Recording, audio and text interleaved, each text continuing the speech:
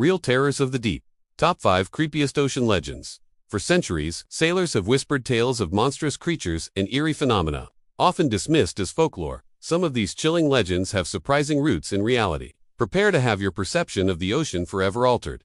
As we explore the top 5 creepiest ocean legends that are, in fact, totally real. Number 5. The Giant Squid. The real Kraken. Let's begin with a legendary sea monster. The Kraken was said to be a colossal squid capable of sinking ships. While a myth, the legend is based on the real giant squid. These massive invertebrates reach lengths of over 40 feet and are a terrifyingly real creature of the deep. Number 4. Bioluminescent Waters.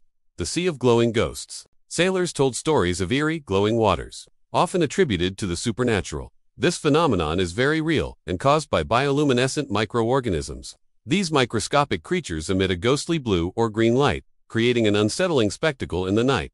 Number 3. The unexplained sounds, whispers of strange sounds from the deep-fueled tales of sea monsters. While embellished, science has recorded powerful, unexplained noises, such as the bloop from 1907. These noises remain a mystery, lending credence to the idea that the ocean holds acoustic secrets far beyond our comprehension. Number 2. The zombie worms imagine tiny worms that bore into the bones of dead whales on the ocean floor. This sounds like a horror story, but these creatures, known as zombie worms, are very real. They secrete acid to consume bone, a truly macabre and unsettling reality of the deep sea ecosystem. Number 1.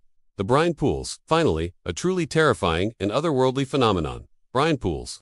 These are deep, underwater lakes of extremely salty, dense water that is toxic to most marine life. Creatures that swim into these lakes of death are quickly killed by the extreme salinity. A real-life underwater hazard that sounds like a nightmare.